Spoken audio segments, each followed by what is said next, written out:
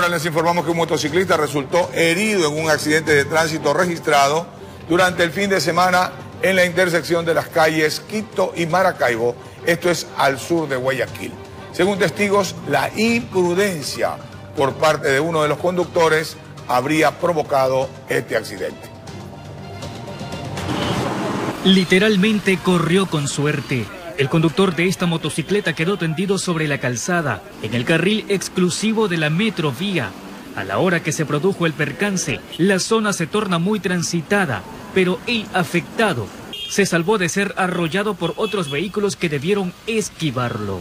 Eh, resulta que un taxista se metió en contravía, creo que salía de la gasolinera, y el señor también venía en este sentido, en el carril de la metrovía, creo que venía distraído por ahí también el hombre, se lo ve con audífonos ahí, parece que venía escuchando música y ya, pues desgraciadamente.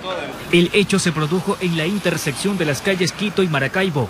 La víctima debió esperar el arribo de una ambulancia del EQ 911 Agentes de la Policía Nacional acudieron al sitio logrando formar un cordón de seguridad a su alrededor hasta que los paramédicos atendieron al herido.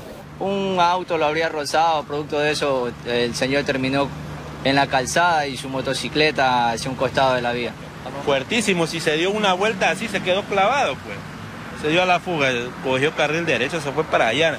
Testigos del hecho aseguran que en el sitio es necesario tomar mayores controles porque los percances se estarían generando de forma continua. Aquí la gente que sale también de la gasolinera sale en diagonal y se cruza el carril de la metrovía y sigue rumbo norte. Yo creo que deberían poner un uniformado acá. O sea, no, no es tanto por el tráfico, a veces es porque la gente maneja como quiera, imagínese hermano. Informó José Morales.